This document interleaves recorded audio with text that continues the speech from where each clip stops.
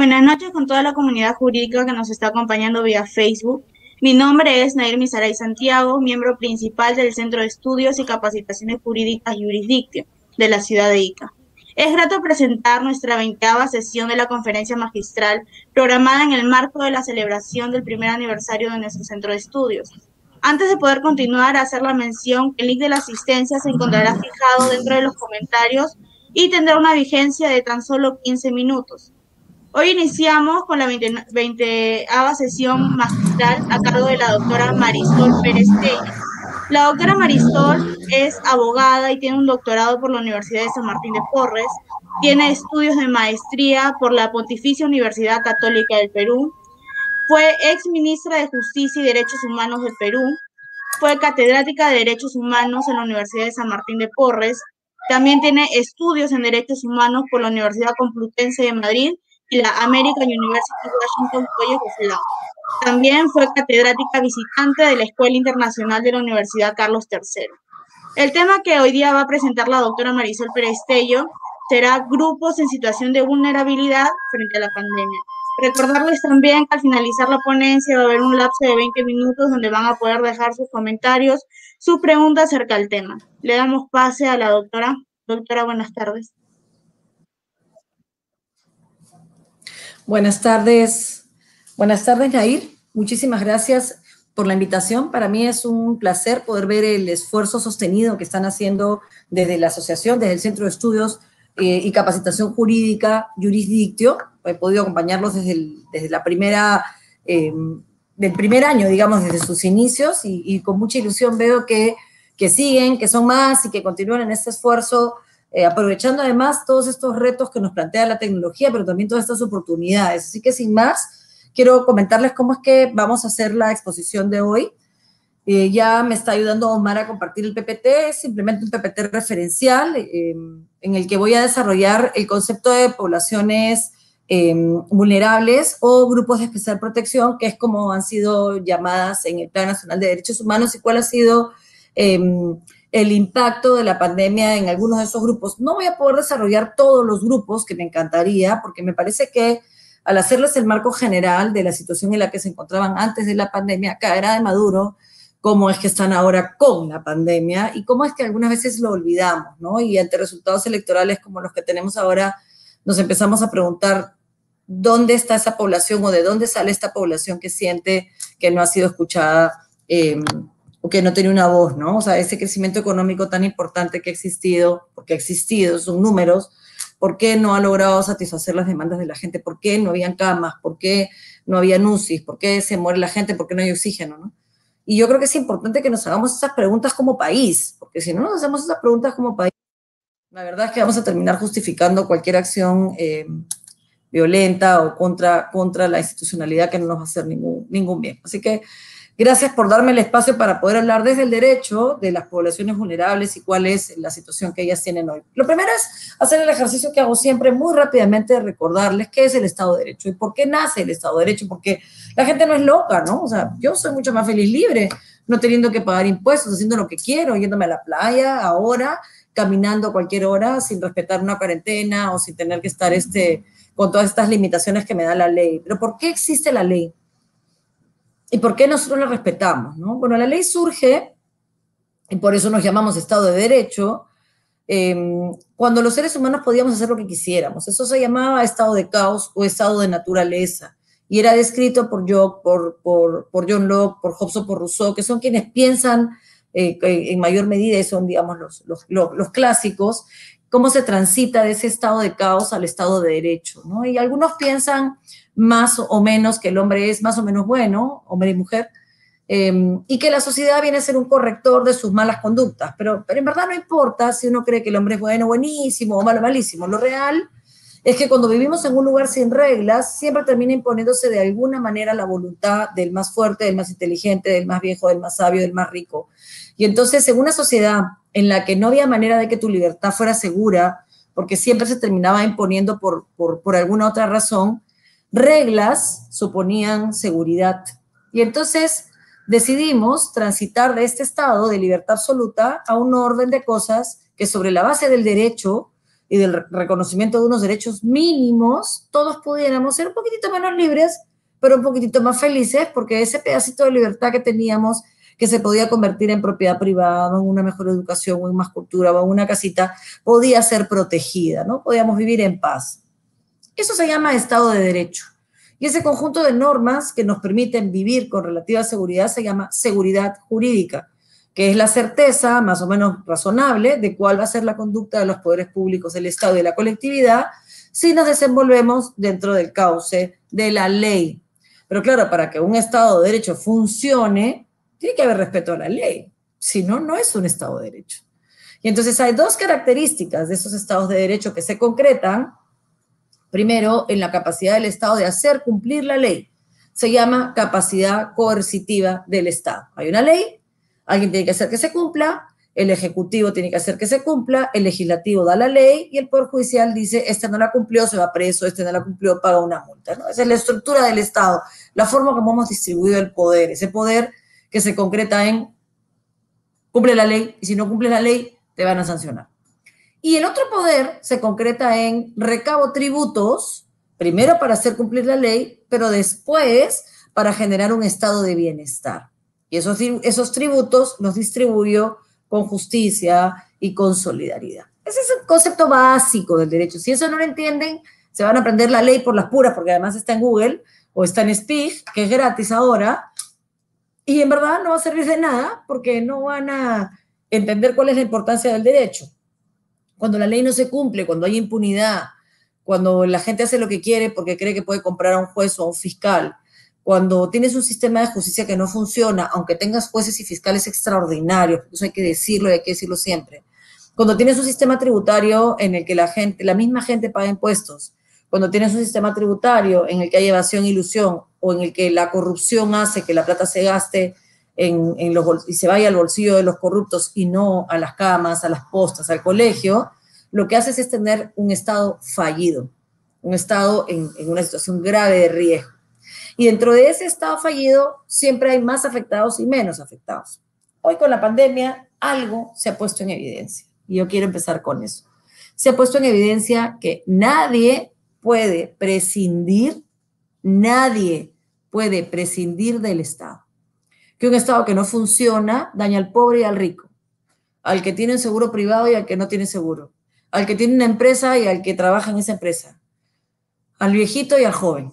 Un Estado que no funciona a todos, a todos nos genera consecuencias terribles que hoy con el COVID pueden significar incluso nuestra vida.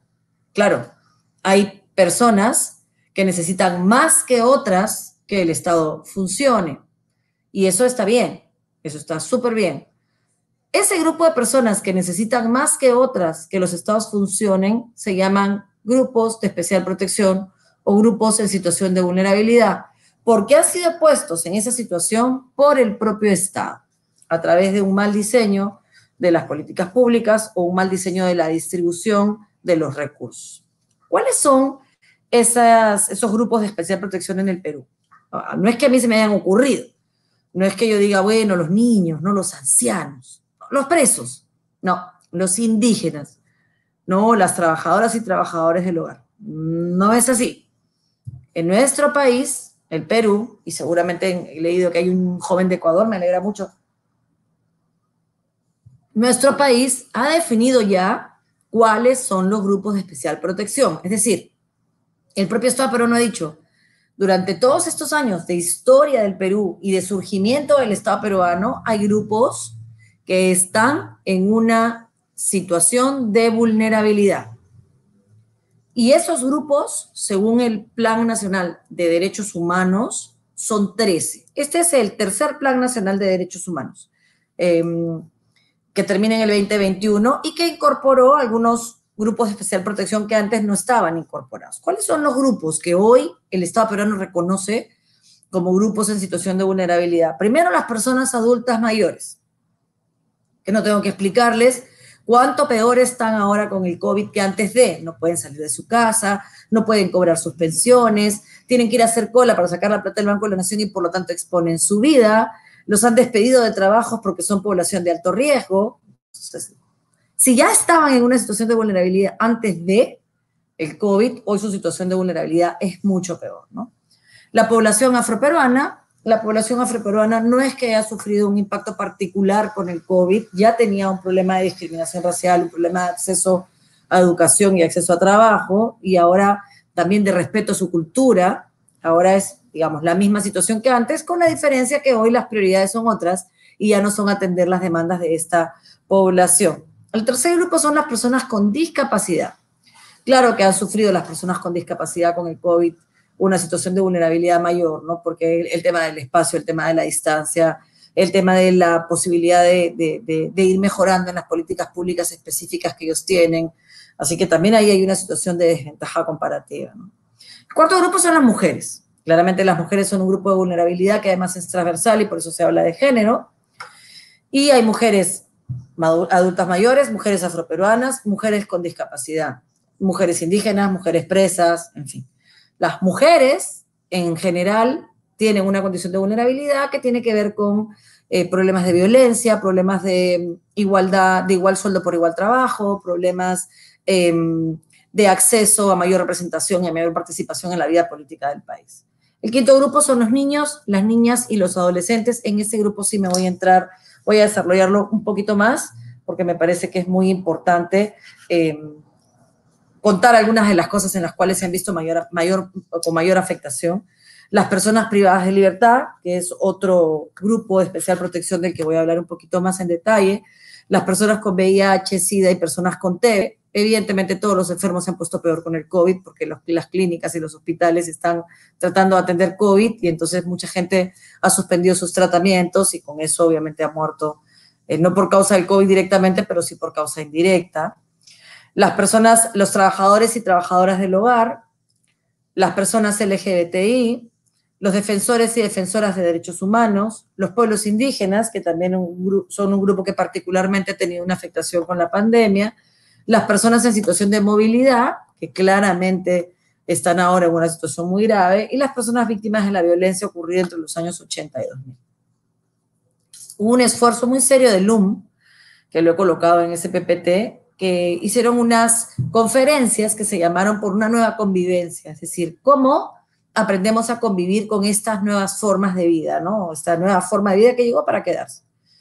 Y hablaba de los trabajadores informales, que en cuanto no son un grupo de especial protección hoy se encuentran en una situación de especial vulnerabilidad, los migrantes, en particular venezolanos, que em, se van a ver impactados por las cuarentenas que se han propuesto y por todas las limitaciones que hay, las mujeres, porque las consecuencias en el tema de la pandemia son gravísimas, o sea, la mayor cantidad de mujeres que sufren eh, de violencia intrafamiliar o de violencia familiar sufren de violencia en su hogar y ahora al no salir las posibilidades de denuncia son mucho menores, ¿no? Entonces, este, y más los niños, niñas y adolescentes. Antes los niños iban al colegio y por lo menos ahí se veían los moretones, había alguna acción de parte de los profesores, hoy eso ha desaparecido. Además de toda la situación de los niños y niñas que no tienen servicio de luz y que por lo tanto han perdido el año y probablemente pierdan este año también.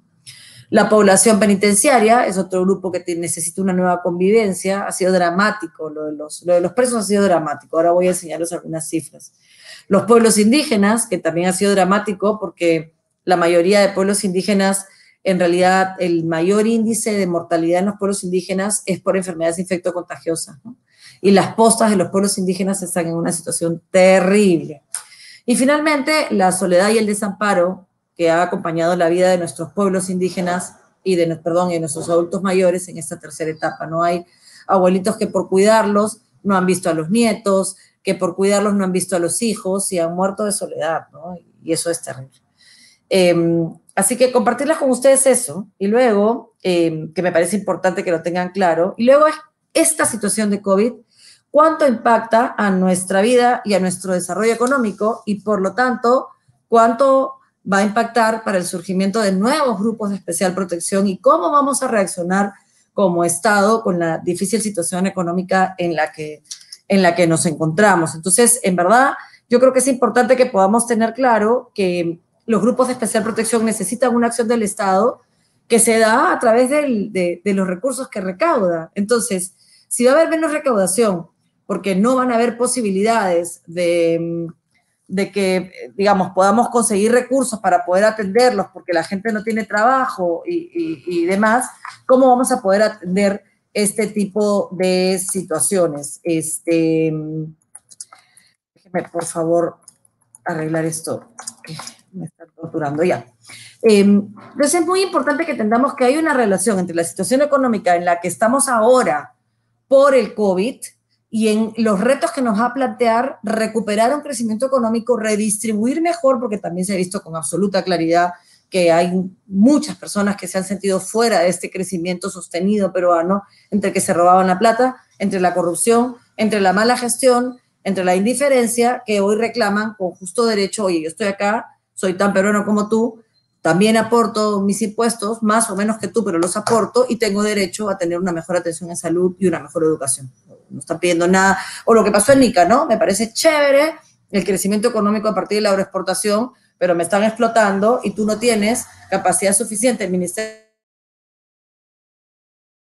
de Trabajo para evitar esa explotación. No pasa lo mismo en Piura, a donde el crecimiento de la agricultura ha sido muy bueno, el control también ha sido muy bueno y no se ha dado lo que se ha dado en Ica, que se viene dando desde que yo era congresista en el 2011 y se hizo el pleno descentralizado en, en ICA y nadie hizo nada y todo quedó ahí hasta que se convirtió en un problema realmente grave que se ha tenido que atender y no sé la verdad si se haya atendido como era necesario, pero ese tipo de problemas en el Perú pasan todos los días, todo el tiempo y pasan fuera del radar, ¿no? Y, yo creo que eso nos hace muchísimo daño como sociedad.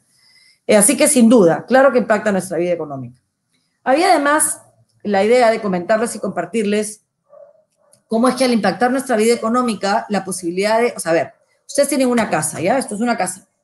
Y la casa por, afuera está preciosa, la hemos pintado, tiene la sala maravillosa, el comedor maravilloso. Eso es lo que pasa con el Perú de exportación.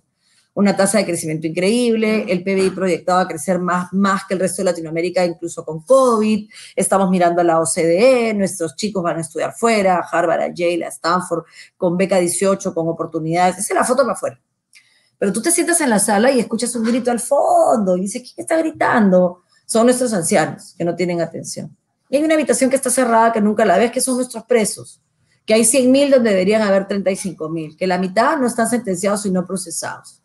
Luego vas al Poder Judicial que también está tapado, que es una guerra, todo el mundo se pelea y aparece un inostrosa que dice, ¿cuánto me da por dejarte libre, violador? Y entonces el resto de jueces y fiscales honestos y decentes son arrastrados por este desprestigio que en realidad no es justo, ¿no? Porque, porque el señor y nosotros era una excepción.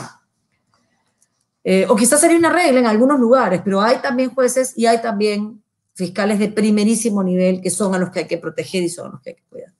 Y entonces esa casa que tiene todos estos problemas tiene un fondo de plata de todos los hijos que somos mayores de edad que trabajamos y ponemos ahí la plata para mantener la casita, ¿no? Y entonces dices, bueno, ahora voy a necesitar más plata porque ahora los abuelitos están enfermos, ¿ah? Y ahora la comida la tengo que solucionar. Ahora tengo más niños con anemia en el cuarto del fondo. Y entonces todos decimos, pucha, pero antes éramos 10 los que poníamos plata y ahora solo trabajamos 5. ¿De dónde vamos a sacar esa plata? Oye, pero hay más niños enfermos ahora. Hay más problemas que antes cuando se había plata. Bueno, pues habrá que asegurarse que nadie se la robe, de gastar menos y de hacer más con más eficiencia. Ese es el reto que viene.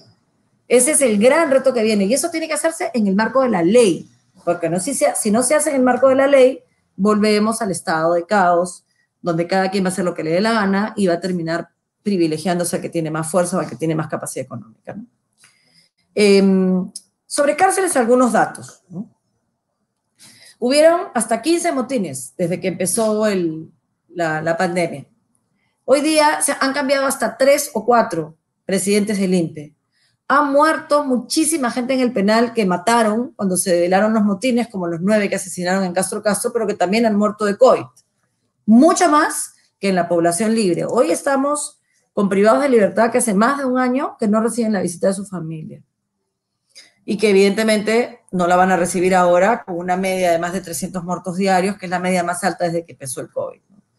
Hay una sensación de zozobra y una falta de preocupación, pero también hay buenas noticias por fin se dio una sentencia del Tribunal Constitucional que atendió los problemas que habían en cárceles. Miren, en el 2020 el 19% de los internos era considerada población vulnerable, o sea, era adulto mayor o tenía alguna enfermedad.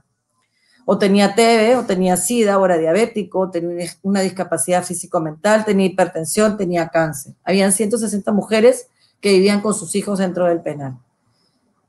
Esto no ha mejorado mucho, pero ha mejorado. Se ha liberado mucha gente, ahora hemos bajado de noventa y tantos mil a ochenta y tantos mil. El Tribunal Constitucional dio una sentencia en mayo del año pasado en la que declaró un estado de cosas inconstitucional y le dio un plazo al Estado para corregir los problemas que había de hacinamiento, de salud y de educación. Hay una preocupación sincera por corregir los problemas en las cárceles. Hoy se ha creado una comisión dentro del Congreso para visibilizar los problemas penitenciarios. Hay un proyecto de ley pendiente, que es una iniciativa ciudadana desde el año 2018. En fin, algo se ha avanzado en cárceles, además, a partir de la desgracia.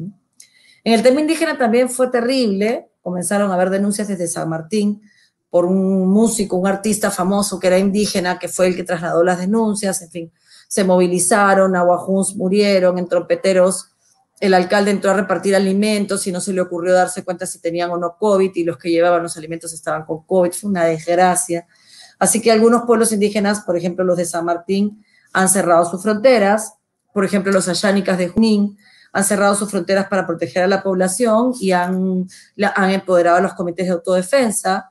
El expresidente Vizcarra, antes de que lo, acá, antes de que lo, lo inhabilitaran, cuando todavía era presidente, en su mensaje de 28 de julio habló específicamente de los pueblos indígenas, cosa que no había pasado nunca. Se asignaron recursos para los pueblos indígenas, pero ha habido pues una falta de claridad sobre cómo comunicarse con los pueblos indígenas en su, en su idioma, en sus, en sus lenguas y, y cómo atender las demandas. Se volvió a poner en evidencia que la salud no tenía una variable étnica y por lo tanto no se podía saber cuánto más afectaba o no a los pueblos indígenas.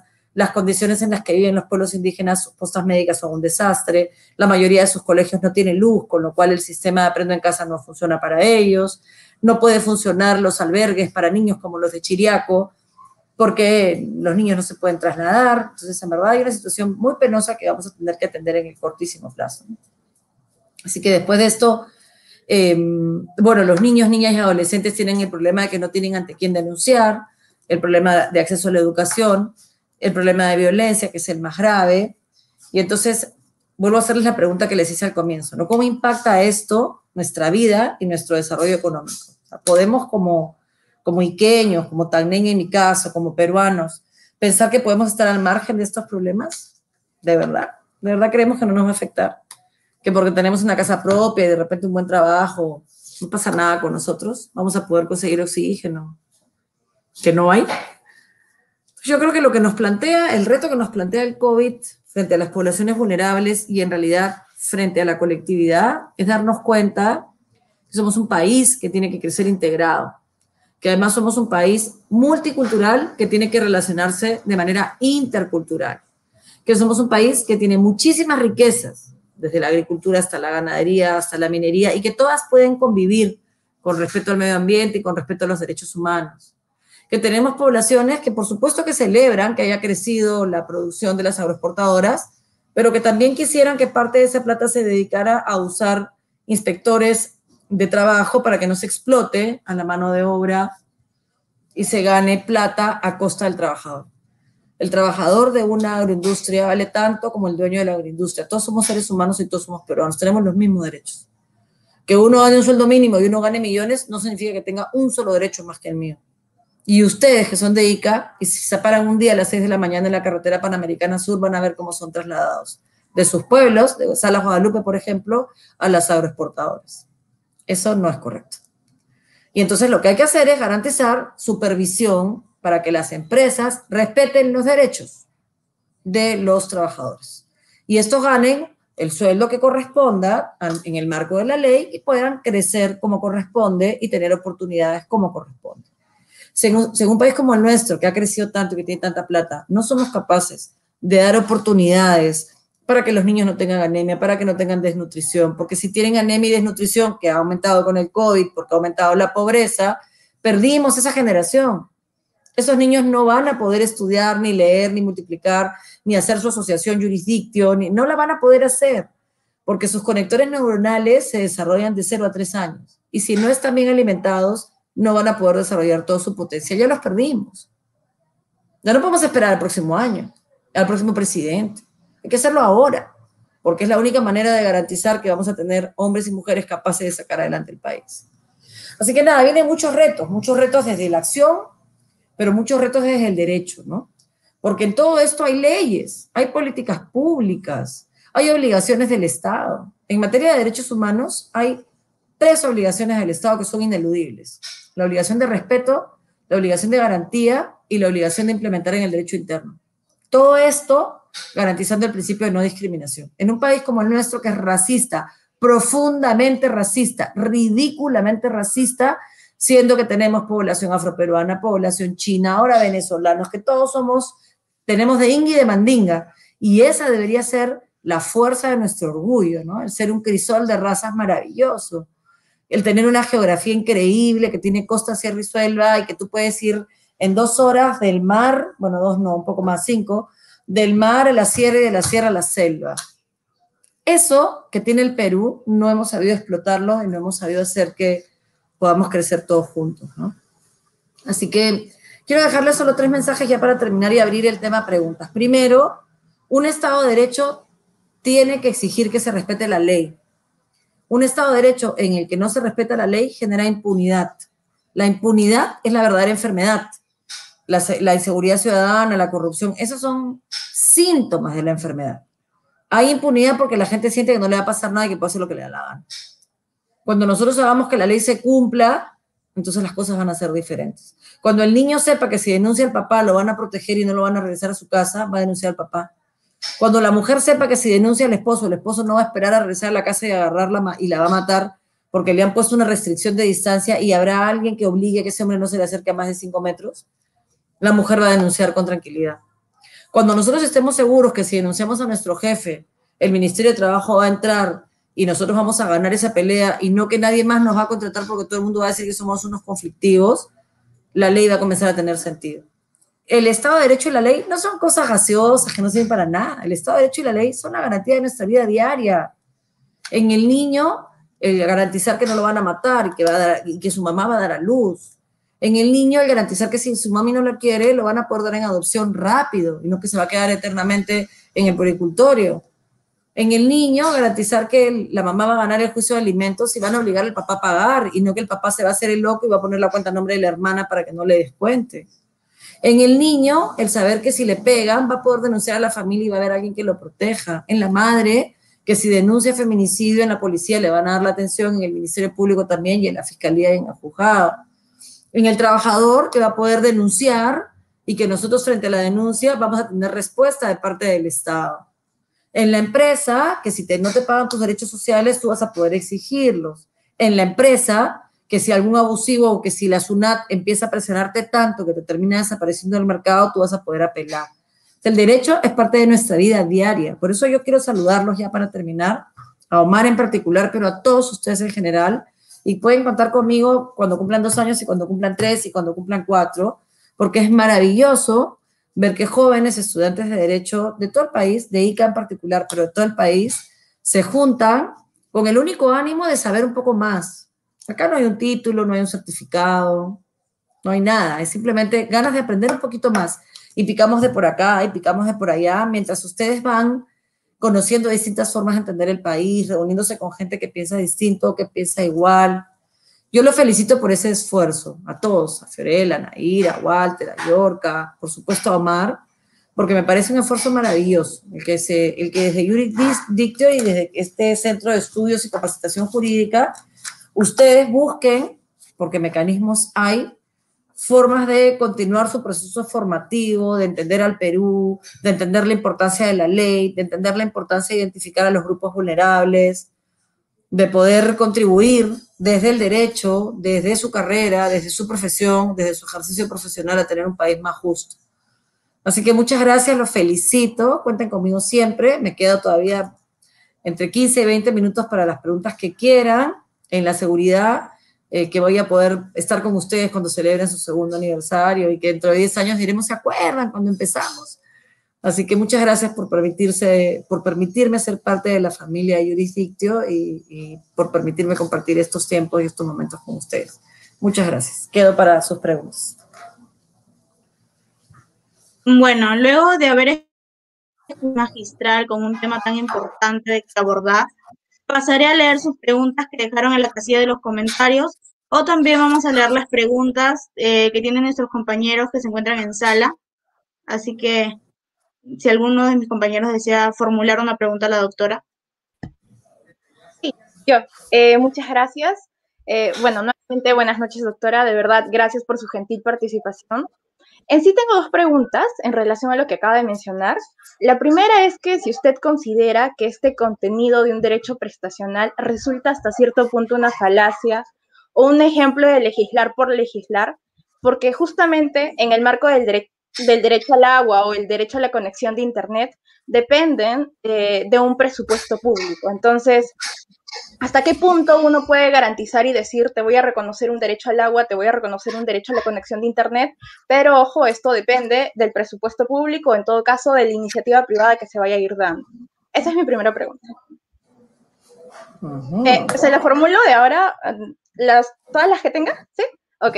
la segunda pregunta es en relación a lo que se vivió en la primera ola de la pandemia. Es decir, si bien eh, en base a la ley orgánica, ya sea una municipalidad, gobierno regional o en sentido estricto el Poder Ejecutivo tiene competencias y funciones a realizar, ¿usted considera que hubo ausentismo por parte de las municipalidades y gobiernos regionales al momento de enfrentar la primera ola de la pandemia? Porque mire, así como experiencia le comento, yo fui voluntaria para el tema de las llamadas de la línea 101 y a medida que iba escuchando eh, reclamos y sugerencias por parte de los ciudadanos, ellos no, no estaban enterados de lo que era el sistema de focalización de hogares.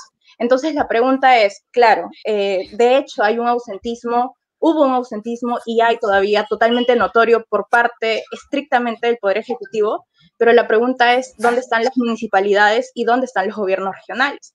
porque son las que se encuentran a mayor alcance para poder brindar este tipo de información. Por el momento, serían dos preguntas, doctora. Muchas gracias. Bueno, voy, voy, contestándote primero, Fiorella. Este, no son preguntas fáciles, la verdad, ninguna de las dos. Voy a empezar por la fácil y después por la difícil. Primero agradecer a Miguel y a Alex sus, comentarios. Em, absolutamente absolutamente de acuerdo contigo en, el ausentismo en las municipalidades y los gobiernos regionales. ¿no? Ese es el gran problema del Perú. La, la, mm, nosotros tenemos un modelo de economía social de mercado que fue recogido en la Constitución del 79 y que, fue, que se repitió en la Constitución del 93. Este modelo de economía social de mercado se copia del modelo alemán de la posguerra. El modelo alemán de la posguerra lo que buscaba era dividir el poder, que era lo que le había permitido a Hitler, al concentrar el poder, controlar el país. Entonces, lo que se quería era dividir el poder y por eso es que se inicia el proceso de descentralización, porque la economía social de mercado parte de un principio que es subsidiariedad y supletoriedad, que el chiquito, el gobierno local, el gobierno provincial, el gobierno regional, haga lo que puede hacer y lo que no puede hacer lo hace el más grande. Entonces, si no lo puede hacer el gobierno distrital, lo hace el gobierno provincial. Si no lo puede hacer el gobierno provincial, lo hace el gobierno regional. Si no lo puede hacer el gobierno regional, lo hace el gobierno nacional. Pero ¿qué pasa cuando ninguno hace nada? Por eso es que la crítica de Vizcarra fue eliminar el nivel primario de atención de salud, porque también la salud se ha descentralizado con la misma lógica. Divide, divide en la estructura de poder o la estructura de la atención del servicio para que pueda llegar al hospital, al, hospital grandote solamente lo que no puede resolver la posta. Pero claro, si te cargas la posta, todo llega, pues, y entonces no te das abasto, ¿no? Em, a ver, no es la primera vez, Fiorella, lamentablemente, que los gobiernos municipales y regionales no dan la talla, ¿no? Siempre con excepciones. Ah, mira, yo estuve a cargo en el 2017 de eh, cuando fueron los desastres naturales. Y los pueblos estaban mejor o peor dependiendo de la calidad de su gobernador o de su alcalde. Los gobernadores de Ancash están todos presos. El anterior, Álvarez, el que había sido elegido cuando empezó la pandemia y después el que empezó la pandemia terminó preso y metieron a otro. No se podía trabajar con un, gobernador, con gobierno regional que no existía. Nadie se hizo cargo. Nadie se hizo cargo. Pero ya luego las municipalidades funcionaban bien. Si el alcalde era bueno, la municipalidad de Nuevo Chimbote funcionó, la de Chimbote funcionó muy bien, la del Santa, perdón, funcionó muy bien, con una mujer, Vicky.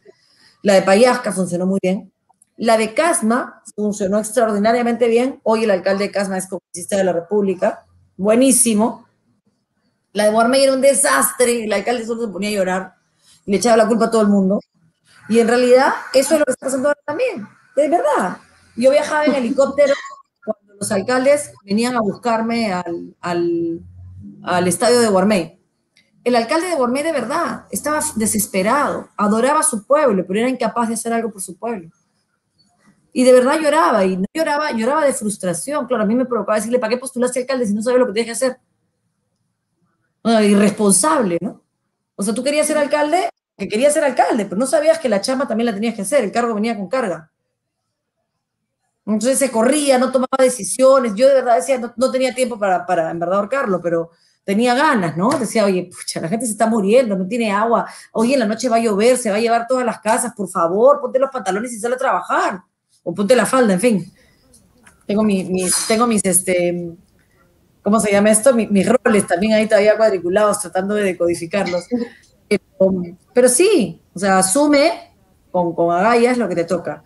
Entonces sí, el problema de la ignorancia es otra cosa, Fiorella. El CISFO, la mitad del Perú, tres cuartas partes del Perú no saben lo que significa CISFO. Yo cuando me senté en el Congreso no sabía lo que era el CISFO. El CISFO es el sistema de focalización de hogares, es un número matemático, aritmético, que se, se, se usa para establecer, el, por ejemplo, los programas sociales, para establecer los quintiles de pobreza. Dependiendo de en qué quintil de pobreza te encuentres, puedes entrar o no entrar en un programa social pero está tan mal hecho y diseñado tan en una mesa de escritorio que se, empezaron a aplicar correctivos. ¿Y quiénes son los que tienen que aplicar los correctivos al CISFO? Los gobiernos locales. Pero ¿qué pasa con los gobiernos locales que meten a la prima, a la hermana, al tío y no hacen lo que tienen que hacer para corregir el CISFO? Entonces hay mujeres que están en programas como Pensión 65 o, lo que fuere, o juntos, que no deberían estar. Y hay otras que sí deberían estar que no están el, problema, el problema no es el programa eh, de juntos, el problema es que había que establecer un criterio único y luego hacer las correcciones y nunca se han hecho las correcciones porque la gente no entiende. Con el tema de los pueblos indígenas, había cientos de pueblos indígenas que estaban en un quintil de pobreza que no correspondía porque su distrito o su provincia era rica porque tenía canon. Y el inútil del alcalde no había dicho, oye, sí, pues mi provincia es rica, mi distrito es rico, pero acá hay un pueblo indígena que no tiene agua, que no tiene luz, que no tiene posta, que no tiene comida, que los niños tienen anemia. Bueno, Paola Bustamante, que es la ministra de Inclusión Social en ese momento, que es una mujer inteligente, le dije, oye, esto está pasando, se reunió con indígenas lo corrigió en un día, de un día para otro, dio una resolución y dijo, los pueblos indígenas automáticamente son considerados en el quintil de pobreza más bajo y por lo tanto todos los problemas sociales les corresponden. Y si el alcalde cree que no, que me lo diga. Por supuesto, ningún alcalde lo dijo nunca porque para eso hay que chambear, ¿no? Claro. ¿Hay alcaldes buenos? Por supuesto que hay alcaldes buenos. Como en todo. Buenos y malos. Pero sí, creo que hay una falta de presencia municipal y regional en general, en la vida del país. En general, no, no todos los gobiernos locales y los gobiernos regionales han entendido que nosotros tenemos un proceso descentralizado. Hemos cambiado la centralización de Lima a las regiones por, la por el centralismo de, la capital de región a las provincias y distritos, o por el centralismo de la capital de la provincia a los distritos, o por el centralismo de la capital del distrito, o sea, de la zona donde está la municipalidad, a los caseríos o a los centros poblados que, que impactan, ¿no? Entonces sí, hay que elegir un poco mejor a nuestros representantes, sin duda, ¿no? Pero, pero no puedo menos que estar de acuerdo contigo. En el tema del contenido de un derecho prestacional, yo diría que no es una falacia, Ferena. Mira, no existían las obligaciones prestacionales cuando surgieron los estados. Cuando los estados surgen, lo único que existía era la obligación de garantizar la paz, la seguridad, la propiedad privada, la libertad, punto, se acabó, eso era todo. Recién, cuando comienza a haber un excedente en la recaudación, es que los estados empiezan a asumir obligaciones prestacionales. Dos constituciones reconocen primero la obligación del Estado en derechos prestacionales, o sea, en derechos en los cuales tiene que generar condiciones, salud, educación. Antes, antes todo eso dependía del privado. Si podías si no piña, pues. Yo solamente tenía que avanzar que nadie te mate. Esa era mi chamba como estaba. Y entonces la constitución alemana de Weimar y la mexicana de Querétaro, a inicios de 1900, reconocen la obligación del Estado, lo que se llama obligaciones de segunda generación. Y entonces ahora cierro un tema con el, que me fui antes. Les había dicho que los estados tenían tres obligaciones, respeto, garantía, implementación y todo con no discriminación. Respetar es respetar los derechos como Estado, no violarte, no matarte, no privarte de libertad. Garantizar es garantizar tus derechos respecto de la conducta de terceros. O sea, el Estado tendría que garantizar que los trabajadores de las agroindustrias reciban el sueldo que les corresponde. y no lo ha hecho. Implementar es adecuar esas leyes en el derecho interno. Entonces, cuando un país reconoce el derecho al agua o reconoce el derecho al Internet, se está obligando con los ciudadanos. Se está obligando nacional e internacionalmente. Porque a veces el derecho internacional es los caballos y el derecho nacional la carreta, y a veces el derecho nacional es los caballos y el derecho internacional la carreta. Hay casos peruanos, hay casos peruanos en los cuales había reconocido un derecho que no estaba reconocido en el derecho internacional y que el derecho internacional ha dicho es exigible. Tema de pensiones, por ejemplo. ¿Por qué? Porque el Estado había, se había comprometido y había reconocido ese derecho que no estaba reconocido en el orden internacional. Entonces, sí es bueno, sí es cierto, por un tiempo va a ser solo un nombre, pero cuando tú reconoces que tenemos derecho al agua, te estás obligando como Estado.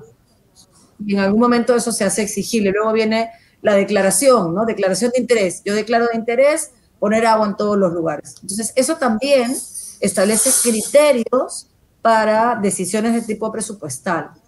O sea, no es eh, una falacia, Fiorella. Lo que es es que genera una expectativa, que a veces es una expectativa mayor en términos de tiempo, eh, que la que en realidad se puede conseguir. Pero reconocer como Estado que todos tenemos derecho al agua, que es parte de nuestro derecho como seres humanos, es obligarte como Estado a garantizarla en el corto, en el mediano o en el largo plazo. Porque acuérdate que en derechos prestacionales, el Estado se obliga básicamente a tres cosas. Se obliga a legislar, lo primero. Se obliga a asignar eh, la mayor cantidad de recursos de que disponga y se obliga a solicitar cooperación en materia económica y técnica. Esas son las tres obligaciones que los estados asumen con derechos prestacionales o de segunda generación. Asignar el máximo de recursos de que disponga, solicitar cooperación económica y técnica y legislar. Así que se va avanzando poquito a poquito, pero se va avanzando, querida Fiorella. Eh, es una línea de tiempo, ¿no? Hay que, hay que esperar. Perfecto, doctora. Muchas gracias por su opinión. Muchas gracias a ti. Ah, permítame agradecerle a Jordi Chagua. Jordi es una gaviota, significa que he tenido la bendición de que haya sido parte de alguno de los jóvenes que formamos en los cursos de verano. Eh, me da mucho gusto. No he podido leer la pregunta porque me emocioné con la gaviota. Así que, así que, si me la lee sería genial. Voy a leerla de, acá está, ya. Eh, se entendería como una discriminación o distinción atender primordialmente a los grupos vulnerables a diferencia de los que no se encuentran con respecto a la vacunación contra el COVID. Muchas gracias. Un abrazo a la distancia. Jordi, a ver, es que el criterio, y eso es súper importante, el criterio no es los vacuno porque están presos, es los vacuno porque son responsabilidad del Estado. No es un tema de discriminación, es un tema de, eh, en todo caso, ni siquiera de discriminación positiva. Si los privados de libertad que tienen concentración de población y hacinamiento y no tienen agua, comienzan a recibir visitas, que van a tener que empezar a recibirlas en algún momento, y no está controlada la pandemia, lo que vas a hacer es generar un foco de infección como con la tuberculosis. El 5% de la tuberculosis de todo el país está concentrada en cárceles. ¿No te parece que sería inteligente si ya sabes que el 95% de la TV está regado por todo el país, pero el 5% está en 69 penales, comienza por resolver el problema de los 69 penales y de la TV, porque cuando la gente va a visitar el penal, se encuentra con la persona que tiene tuberculosis, se contagia tuberculosis y sale, y la TV sale en combi de San Juan del Lurigancho, un distrito que alberga a 15.000 privados de libertad y menos de 3 kilómetros. Y esos 15.000 privados de libertad reciben por lo menos a 15.000 personas en un día de visita. Y esas 15.000 personas están muchísimo más expuestas a contagiarse de TV por el hacinamiento y la falta de condiciones de salud. O sea, es un tema de salud pública, no es un tema de discriminación ha sido vendido como un tema de discriminación, pero no es así, es un tema de salud pública. Eh, y claro, es fácil que todo el mundo diga, oye, ¿por qué? O sea, que encima que está preso lo van a vacunar primero a él que a mí, a ti. Primero lo voy a, te voy a cuidar a ti. Para cuidarte a ti tengo que asegurarme que los focos infecciosos estén controlados. Y la cárcel es un foco infeccioso. Además que yo creo que tienen derechos, eh, no creo que tengan que tener más derechos que nadie. Y además tienen la obligación de cumplir sus condenas. Pero en este tema de, de privilegiar a los privados de libertad, no es porque sean privados de libertad también es en clínicas, en hospitales de tratamiento psiquiátricos, porque lo que tienes que hacer es evitar contagio. Y el contagio es masivo en la medida en que la población está más concentrada. Eh, Así que nada, esa era la respuesta a tu pregunta. Y luego había otra pregunta de alguien que no estaba de acuerdo con algo, pero no terminé de leer con qué. Entonces, si me permiten leerla, sería genial. Ah, Ángel. Mauricio discrepa eh, con derechos de carácter colectivo, mayores pérdidas para el Estado. Se debe desarrollar un programa sustentable para garantizar un determinado servicio y no al revés, porque la única forma de hacerlo es cobrar impuestos mayores y precisamente eso hace que sea por... Mm, no, no, no, entiendo la reflexión de Ángel, pero permítanme o sea, tú estás afirmando que si hay un, si hay un mayor derecho colectivo, mayor pérdida para el Estado. yo creo que no. Yo creo que no. Pero sí coincido absolutamente contigo en que hay que desarrollar programas sustentables. Por supuesto. Por supuesto. Pero el reconocimiento de ese derecho eh, en estricto no va a hacer que tú saques plata donde no la tienes. Va a hacer que veas que hay una obligación para con ese derecho que tienes que atender y que la priorización en, en temas presupuestales eh, se dé a partir de eso. Yo creo, como tú, Ángel, que sin planificación el país no funciona. Por eso es importante conocer a CEPLAN. CEPLAN es el centro de planificación que no es para, no es para hacer planificación estatal, ¿ah?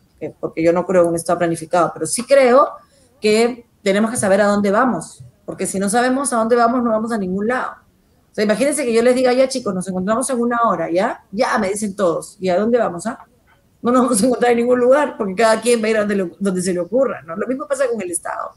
Si no orientas tus políticas hacia alguna dirección, cada una va por su lado. Mire, por ejemplo, en cárceles, seis de cada diez presos no han terminado el colegio. ¿No les parece que el ABC debería ser que si ya sabes que es un condicionante de una conducta delictiva no acabar el colegio, por la razón que fuera, trata de que todos los niños acaben el colegio? la política educativa no debería de cruzar por lo menos con los barrios donde son estos niños que por alguna razón no terminan el colegio. Seis de cada diez presos viven en hogares con violencia familiar. ¿No les parece que la política pública contra la violencia familiar debería de cruzar con la información de cárceles para poder tener estos barrios a donde viven estos niños que tienen mayor incidencia delictiva y que tienen mayor incidencia de violencia familiar? Pero, pero es como todo. Vamos, nos encontramos en una hora, ya vamos. ¿A dónde? Esas son las políticas de Estado que se reúnen en el acuerdo nacional, pero que a veces los políticos no les damos el valor que tienen, ¿no? Eso te da un norte, te da destino. Como te da destino decir, oye, necesitamos agua y necesitamos internet. Pero coincido que decir necesito agua no significa que el agua vaya a aparecer mañana, significa que lo estás estableciendo como una prioridad. Un país que no tiene agua tiene un montón de consecuencias en términos de salud, en términos de anemia, en términos de desnutrición, y la vida de las personas que no tienen ese servicio no tienen la misma calidad que las que sí lo tienen. Y lamentablemente aquí sí se necesita el principio de suplitoriedad, porque hay lugares donde no es negocio poner agua para un privado y el Estado tiene que hacerlo, o, o desalinizar el agua o buscar alguna otra forma. Pero bueno, esos son los retos pendientes que tiene Perú, que no son pocos, ¿eh? que no son pocos. Bueno, doctora, formulándole otra pregunta, otra interrogante.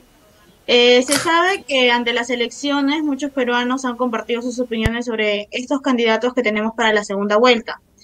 Teniendo en cuenta este caso, eh, ¿hasta qué punto cree usted que puede llegar el derecho a la libertad de expresión? Y enfocándonos más en los grupos vulnerables, ¿no? Eh, perdóname, perdóname, Nair, ¿podrías volver a plantearme la pregunta, por favor? No sé, me perdí. Era algo sobre la segunda. Sí, teniendo en cuenta esta segunda vuelta, eh, sabemos que muchos de los, nuestros compatriotas, muchos de los peruanos, se han manifestado mediante redes sociales sobre esta segunda vuelta. Teniendo en cuenta ese caso, ¿hasta qué punto cree usted que ha llegado el derecho a la libertad de expresión y enfocándonos más en los grupos vulnerables? Ah, a ver, una cosa y otra no, no, digamos, no tienen necesariamente puntos de conexión, ¿no? Salvo el derecho de a grupos, algunos de estos grupos vulnerables que están organizados y que hacen escuchar su voz, por ejemplo, el colectivo LGBT, ¿no? Que claramente debe sentir una gran preocupación en las dos opciones que han llegado a segunda vuelta porque no incorporan dentro de sus planes de gobierno ninguno de los derechos que ellos han conquistado, ¿no? Y de hecho, en algunos casos hasta hay discursos homofóbicos. Entonces sí creo que legítimamente van a utilizar su derecho a la libertad de expresión para exigir mínimos, ¿no? Eh, o podríamos hablar de, otros colectivos, como las mujeres, ¿no? Que digamos, a ver, este, yo también quiero que garantices mis derechos sexuales y reproductivos, y, tu posición en ese sentido o en este otro sobre el tema de género no lo comparto. O sea, yo sí creo que es importante que se pueda eh, utilizar la libertad de expresión no solo para la formación de opinión, sino también para la transmisión de las necesidades y las demandas. Siempre hay, siempre hay excesos, ¿no? Sobre todo en, en los, en los, en los, en las situaciones en las cuales em, uno considera que es anónimo. ¿no? El Twitter, por ejemplo, es desgarrador, ¿no? La cantidad de, de insultos que uno recibe en Twitter, además sin nombre y sin DNI, son, yo creo que eso no es nada constructivo, pero tampoco lo bloquearía. Dejaría que me sigan insultando, porque al final no les hago caso, pero porque además tú, tú te das cuenta cuando son trolls, te das cuenta cuando son boots, te das cuenta cuando, y hasta ahí la gente que maneja Twitter también se da cuenta, pero claro, igual hace daño, ¿no? O cuando se meten a tu Facebook a tu fanpage y te insultan, o cuando se meten a una clase Zoom y ahí entonces terminan con fotos que no corresponden, pero en verdad yo creo que eso hay que tomarlo deportivo y continuar. No sacrificaría la libertad de expresión por nada de eso, porque yo creo que un país que no tiene garantizada la libertad de expresión no es un, no es un país democrático, ¿no? La gente tiene derecho a formarse opinión, incluso de las estupideces. O sea, incluso de tanto escuchar tonterías, la gente en un momento dice, estas son tonterías, y no les hace caso. ¿no? Ahora, lo grave es que hay mucha gente que se forma, que es muy ligera también y que no busca información, pero bueno, eso es parte de la vida, ¿no? O sea, sí siento que, además también hay, o sea, tú no, el, el, el, derecho a la libertad de expresión no supone que no esté sujeto a responsabilidad ulterior, ¿no? Claro, con Twitter no hay manera de que haya responsabilidad ulterior, pero denúncialo, pues, ¿no? Estos señores me han insultado, ¿quiénes son? Por favor, su DNI, si no son los bloqueas. Punto. Pero yo sí creo que hay maneras de enfrentar esos excesos, primero con la verdad, Segundo, aclarando las cosas que legítimamente la gente se pueda, pueda creer que son y que en realidad no son. Tercero, no usando la lisura con la que eres insultado, sino la razón. Yo creo que solamente usan la violencia físico-verbal los que son incapaces de utilizar argumentos. Entonces, cuando los pones en evidencia, sin que pierdas el control, yo creo que en eso crecemos todos, ¿no? Entonces, eh, sí creo que es importante garantizar la libertad de expresión para sociedades democráticas. Sí creo que eso no significa que no exista responsabilidad ulterior. Sí creo que hay casos, como el Twitter, por ejemplo, en los cuales la responsabilidad ulterior no es tal, sin embargo hay otros mecanismos para, para, para que tú puedas garantizar que eso se, eso se termine. Y sí creo que para algunos grupos vulnerables la posibilidad de utilizar los caminos de la libertad de expresión para generar opinión son indispensables, ¿no? sobre todo en, en, en procesos electorales en los cuales la radio y la televisión no necesariamente representan todos los discursos, ¿no? La prioridad que le dan los periodistas a algunos temas, o sea, yo no veo periodistas hablando sobre niñez, por ejemplo, me parece fundamental, ¿no? Hay otros temas que se comen, el, se comen la, la, la coyuntura y los titulares, ¿no? Si este dijo esto, otra, esto otro, si el señor está con COVID o no, que me parece terrible, pero me refiero a los candidatos, pero hoy los niños y los temas de agenda, ¿dónde están? Pero creo que estos canales alternativos, espacios como este, te permiten poner otros temas en la agenda y que la gente comience a exigir otro tipo de programas que te dan otro tipo de información y que pueden ser mucho más constructivos que el chisme farandulero, político, que no, no resuelve los problemas. Gracias, doctora. A ver si este, alguno de mis compañeros de la sala quisiera formular otra pregunta.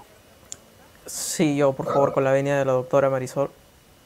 Sí, claro que sí. Solo me voy a tener que disculpar porque yo tengo que salir en ocho minutos, pero todo lo que podamos en esos ocho minutos, encantadísimo. Walter, todo. Sí, sí, doctora, no se preocupe. Este, bueno, parto mi participación con este, agradecerle su gentileza, su amabilidad por participar en, este, en esta conferencia y también en el primer aniversario de nuestro centro de estudios. Felicitarle también por su excelente explicación del tema y bueno, mis preguntas no van a ser tan tediosas como la de mi compañera Fiorella. Solamente cuestión de qué, qué, comentario, qué crítica, qué opinión le merece usted. Por ejemplo, el caso de las elecciones que han pasado, se ha visto que los adultos mayores han sido sobreexpuestos al, al adecuárseles un horario que lamentablemente se tenía por lógica que las mesas no iban a estar instaladas, ¿no? que también los jóvenes, la mayoría este, los contemporáneos no han asistido. Entonces, ¿qué criterio le, le, merece usted respecto a esta un poco eh, desatinada programación que ha hecho la, la, Oficina Nacional de Procesos Electorales? Eso como punto de partida. Y como segundo, algo, breve, eh, bien sabemos que actualmente existe la ley 33G4, la llamada ley que previene, erradica y sanciona los, la violencia contra la mujer y los integrantes del grupo familiar del año 2015 que tiene ciertos cuestionamientos. ¿Por qué? Porque en su, mismo, en su mismo articulado establece que la denuncia puede ser establecida simple y llanamente con la eh, sola eh, eh, relación, la sucinta relación de hechos que, se han, que han originado la supuesta denuncia. Pero en este caso hay ciertos momentos en los cuales se ha hecho un abuso indebido, un uso indebido de esta ley. ¿Por qué le digo? Porque en algunos casos hay mujeres que solamente han denunciado porque, bueno, se les ocurrió, dijeron, bueno, me tocó, pero se exagera, ¿no? Y lamentablemente la misma ley también establece que en algunos casos, por ejemplo, de las niñas eh, este, y de las, de las adultas, de las eh, ancianas, eh, se puede este, tomar su declaración bajo la, técnica de la entrevista única. Pero cuando se editan las medidas de protección, solamente se hace, se hace este uso del artículo, si no me equivoco, es el 15 de la misma ley, donde se dice que la denuncia solamente puede ser interpuesta con la, este, con la eh, sucinta relación de los hechos. ¿Qué opinión le merece respecto a esta ley que si bien es cierto sirve para algunos casos, pero para otros no? A ver, primero lo fácil. Ya OMPE reconoció que la decisión de la, de la prioridad en los adultos mayores al voto fue un error absurdo, porque ellos partieron de la premisa de algo que no iba a pasar que toda la gente iba a llegar a su mesa a la hora que correspondía. No pasaba nunca en la historia del Perú, no había en realidad ninguna razón para pensar que iba a pasar ahora con COVID. Este, pero bueno, eh, les pasó la factura a ser nuevos pues en esto y pues ellos hicieron un diseño de mesa. Lo que pasa siempre en el Perú, el diseño de mesa. Tienes idea de lo que va a pasar en realidad, pero tú en una mesa ya está y no tomas plan B, plan C, plan D. ¿no? Ellos han reconocido que fue un error. La intención de ellos fue priorizarlos, fue evitar que la carga viral se, se, digamos, se, se reuniera en, en, las habitaciones cerradas. Creo que fue un desastre, lo han reconocido.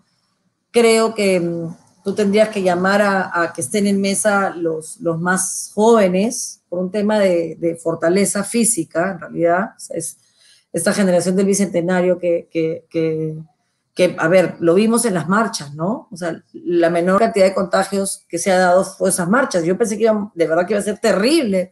Y eso tiene que ver con la fortaleza física de quienes estuvieron ahí. Yo les aseguro que si hubiéramos sido mayores de 50 los que salíamos a marchar, estaríamos todos contagiados.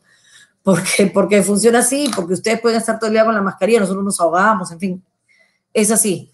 Eh, que debería de haber un proceso de selección distinto, que debería de haber mayor sanción para los que no van a votar a la hora que tienen que ir a votar y que las personas de tercera edad tendrían que ser los más cuidados, ¿no? La hora para ellos tendría que ser entre 11 y 12, que es la hora en la que ya tienes las mesas aseguradas, que hacen más calorcito, que todavía no han almorzado, entonces pueden ir a descansar eh, después del almuerzo y no obligarlos a salir en la tarde, que hay viento, que hay frío, que, han almorzado, que muchos hacen siesta, o sea, pensar un poco en, en ese macro, ¿no? Este, pero bueno, yo sí tengo que reconocer que OMPE a las 10 de la mañana ya había dicho fue un error, perdón, nunca pensamos en estos niveles de irresponsabilidad, pero claro, el perdón tiene consecuencias, ¿no? O sea, yo, yo sí creo que ahí ha habido un golpe a, a OMPE que va a tener que asumir, esperemos que en la segunda vuelta diseñen esto con más inteligencia.